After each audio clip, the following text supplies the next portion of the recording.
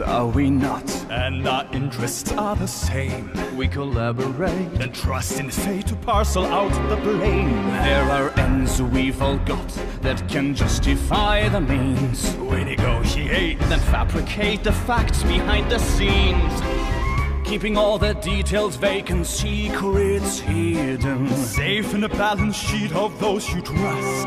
Because history is a story told by the winners of the fight. A little, I a little, justifying by a little sailor. Who's gonna question what goes on in the middle of the night? Not a tinker, not, a not his father or Mercedes or a jailer. So we all are agreed, let's be vigilant and wise. We must all pretend our naive friend was caught in his own lies. For our plan to succeed, we must share but one belief.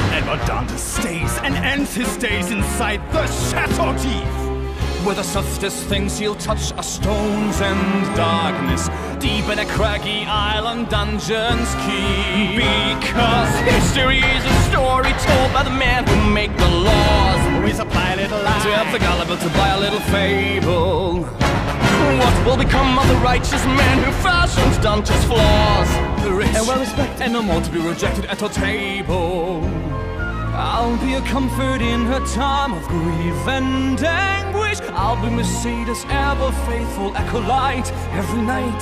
And part of me wishes Dantes didn't have to languish. But I can see it's him or me. Let him sit there and rot till he's forgot. Let him rot. History is a story told by the people who survive. Let me sign and then initial. It's the truth if it's officially that story. The cost is one young man so three more men can survive? He's a price we have to pay to live and fight another day for love and glory. He was standing in the way of threats of justice and say, So the story.